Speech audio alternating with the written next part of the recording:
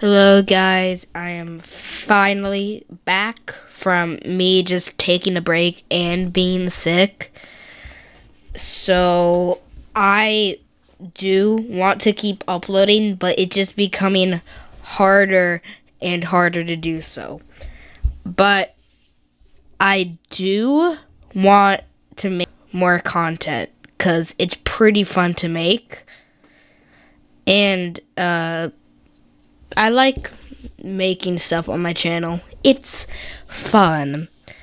But I have more announcements to make, by the way. From time to time, I could make some YouTube shorts, uh, which I usually don't do, but I might do now. I also uh, am going to do what I did last year, which is for all the uploads in October of this year. They will be spooky or horror related. So yeah, watch out for that. Uh yeah, I'm back. So happy uh, uh yeah.